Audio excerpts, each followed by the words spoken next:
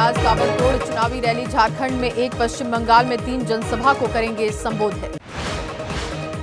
अमित शाह का आज यूपी और बिहार दौरा है। यूपी के प्रयागराज और जौनपुर में रैली शाम चार बजे बिहार के बेतिया में करेंगे प्रचार। जेपी नड्डा आज हरियाणा दौरे पर होंगे। कैथल में करेंगे चुनावी सभा। करनाल में पार्टी कार्यकर्ताओं के साथ मीटिंग। राहुल गांधी और अखिलेश यादव आज यूपी में भरेंगे दम। प्रयागराज में दो साझा रैली में भरेंगे हुंकार। सीएम योगी का आज धुआंधार प्रचार, यूपी की छह सीटों पर पार्टी प्रत्याशियों के लिए वोट की अपील करेंगे। पीएम मोदी का कांग्रेस और आप पर हमला, बोले इंडी गठबंधन के सभी नेता हैं भ्रष्टाचारी।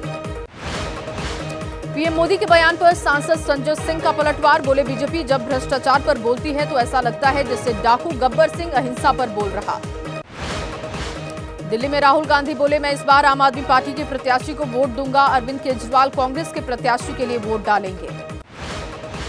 राहुल गांधी का पीएम मोदी पर वार बोले, नरेंद्र मोदी ने 22 से 25 लोगों के लिए काम किया, छोटे व्यापारियों का एक रुपए भी माफ़ नहीं किया। फिर एक बार राहुल गांधी ने पीएम मोदी को डिबेट के लिए चुनौती दी, कहा, मैं तैयार हूँ नरेंद्र मोदी से डिबेट करने के लिए। सोनीपत में पीएम मोदी ने कांग्रेस पर हमला किया, कहा वोट जिहाद की बात करता है इंडी गठबंधन। अंबाला में पीएम मोदी का बड़ा दावा, बोले चार चरणों में इंडी गठबंधन चारों खाने चित हो गया।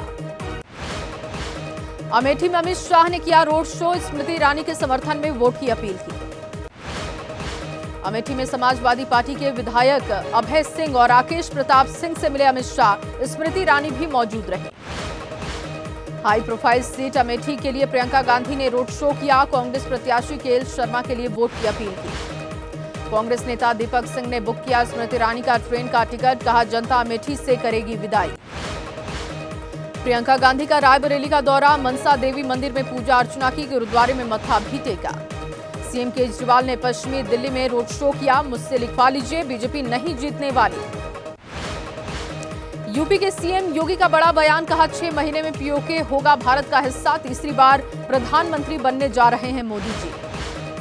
असम के सीएम हेमंता बिस्वा शर्मा बोले, कश्मीर का एक हिस्सा पाकिस्तान में है 400 सीट दीजिए, हम कश्मीर का वो हिस्सा लेंगे। चुनावी सभा में सीएम हेमंता बिस्वा शर्मा बोले, राहुल को पाकिस्तान का बनना चाहिए प्रधानमंत्री। कांग्रेस नेता दानिश अली के बिगड़े बोल, असम के सीएम हेमंता बिस्वा शर्मा पर विवादित टिप्पणी की।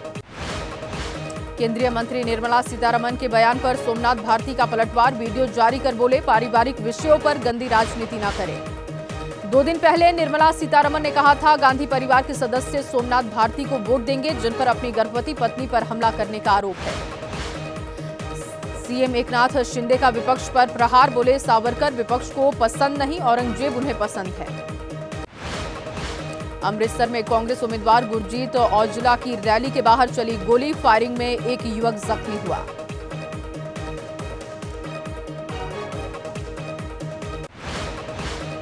फायरिंग के बाद कांग्रेस उम्मीदवार गुरजीत सिंह औजला बोले, गोली चलाने वाले एक आप उम्मीदवार का करीबी रिश्तेदार है। अनंतनाग में प्रचार के दौरान महबूबा मुफ्ता, महबूबा मुफ्ती की स्कॉट गाड़ी दुर्घटनाग्रस्त हुई। आईटीबीपी का एक जवान जख्मी हुआ। पूर्वी मेदिनीपुर में बीजेपी नेता विजय कृष्ण की हत्या मामले में कार्रवाई शुरू हो गई है। एनआईए की टीम जाँच के लिए पहुँची। टीएमसी नेता पर हत्या का आरोप कर्नाटक में अंजलि अंबिगर की हत्या के खिलाफ आक्रोश है अंबिगर समाज से जुड़े मठों के कई संतों ने प्रदर्शन किया।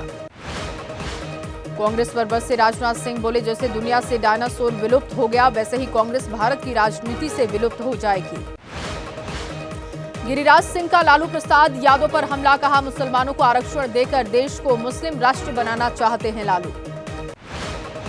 अखिलेश यादव का बीजेपी पर वार बोले, ये कहते थे ना ना खाएँगे, ना खाने देंगे, लेकिन बॉन्ड के ज़रिए सब डकार गए। पूर्व सीएम भूपेश बघेल का सीएम योगी से सवाल पूछा, क्या गौमांस के निर्यातक से 250 करोड़ रुपए लेने वाली बीजेपी के साथ आपको रहना चाहिए? चिराग पासवान का बड़ा दावा, कहा बिहार में एनडीए को मिलेगी सभी 40 सीटें, देश में एनडीए इस बार 400 पार। लालू प्रसाद का पीएम मोदी पर हमला, बोले पीएम मोदी बार बार बिहार आ रहे इसका मतलब वो हार रहे हैं। All India Muslim personal law board के प्रवक्ता और उमर खालिद के पिता बोले, कन्हैया कुमार और उमर खालिद दोनों की लड़ाई एक है। जम्मू कश्मीर के बडगाम में एनसीपी उम्मीदवार उमर अब्दुल्ला ने किया रोड शो। कश्मीर की जनता से अपने लिए समर्थन मांगा। ममता बनर्जी पर अधीर रंजन चौधरी का बयान कहा मैं किसी ऐसे व्यक्ति का समर्थन नहीं करूँगा जो कांग्रेस को नष्ट करना चाहता हो।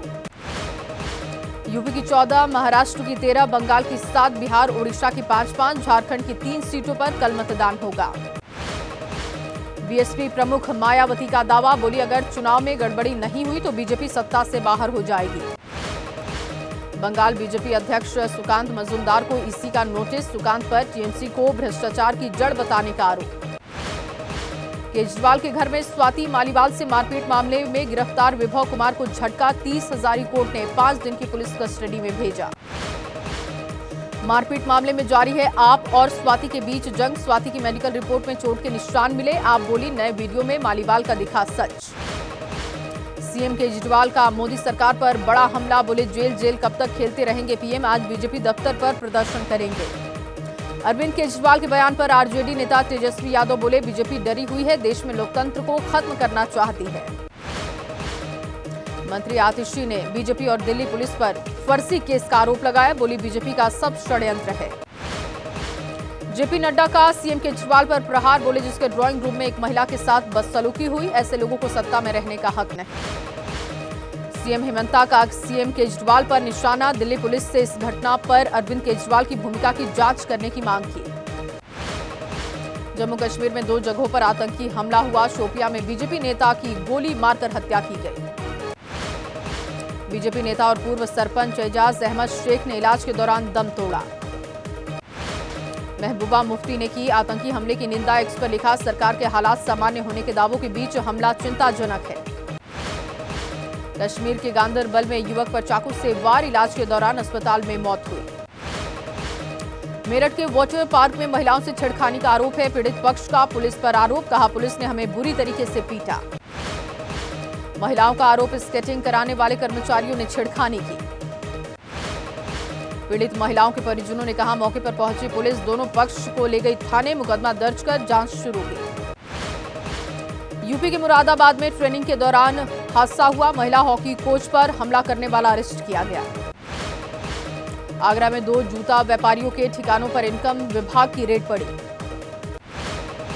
पुणे सोलापुर रोड पर बैंड बजाने वालों पर गिरी होर्डिंग, कई गाड़ियाँ और घोड़ा दबने से भारी नुकसान। यूपी के कानपुर में दीवार गिरने से मजदूर घायल हुआ, टॉकीज को तोड़कर कॉम्प्लेक्स बनाने का काम चल रहा था। ग्रेटर नोएडा के अजनारा होम सोसाइटी में काफ़ी देर तक लिफ्ट में फंसा रहा परिवार, सोसाइटी के लोगों ने कड़ी मशक्कत के बाद बाहर निकाला। लखनऊ में बड़ा हादसा टला है, बाज़ार के पास लगे ट्रांसफार्मर में लगी आग पर फायर ब्रिगेड ने काबू पाया। गाजियाबाद की एक सोसाइटी में जनरेटर में धमाके के बाद आग लगी, मशक्कत के बाद फायर ब्रिगेड ने काबू पाया। लखीमपुर खीरी की बच्ची लवली के इलाज के लिए अडानी फाउंडेशन ने मदद की, अपील की है। मेरठ में एक्टर मनोज वाजपेयी ने अपनी आने वाली फ़िल्म का प्रमोशन किया, शास्त्री नगर के एक मॉल में पहुँचे थे। नालंदा में बिजली मिस्त्री से विवाद के बाद अंधाधुंध फायरिंग हुई, चार लोगों को गोली मारी गई। पश्चिम बंगाल के पूर्वी मेदिनीपुर में फिर से बम और बम बनाने का सामान बरामद हुआ। बिहार के छपरा की गढ़सा मदरसा बम ब्लास्ट का मामला है। बाल संरक्षण इकाई ने मदरसा को बताया अवैध। यूपी के मुजफ्फरनगर में लव जिहाद का आरोप धर्म छिपाकर इंस्टाग्राम पर की थी हिंदू युवती से दोस्ती। दिल्ली पुलिस ने नीट पेपर सॉल्वर गिरोह का भंडाफोड़ किया। एमबीबीएस के दो छात्र सहित चार आरोपी गिरफ़्तार। चारधाम यात्रा में पहुँच रही बंपर भीड़ के चलते यात्रा के स्लॉट फुल हो गए हैं। कश्मीर की गुरेज घाटी में बर्फीली तूफ़ान से दहशत, आसपास के इलाकों में प्रशासन ने अलर्ट जारी किया। उत्तर पश्चिम भारत में गर्मी का कहर जारी है, अगले पाँच दिनों तक राहत मिलने की कोई उम्मीद नहीं। मौसम विभाग ने रेड अलर्ट जारी किया, स्वास्थ्य के लिहाज से लंबे समय तक धूप में रहने वालों को बीमारी का ज़्यादा खतरा। मेरठ जिला अस्पताल का बच्चा वार्ड फुल डायरिया, बुखार, उल्टी, दस्त के मरीज़ बढ़े। केरल में आज और कल भारी बारिश की चेतावनी है। मौसम विभाग ने 21 मई के लिए केरल के नौ जिलों में जारी किया ऑरेंज अलर्ट। 19 से 22 मई के बीच केरल में एक और दो स्थानों पर तेज हवाओं के साथ बिजली गिरने की भी आशंका। आंध्र प्रदेश के अनंतपुर इलाके में भारी बारिश से जनजीवन अस्त व्यस्त हुआ।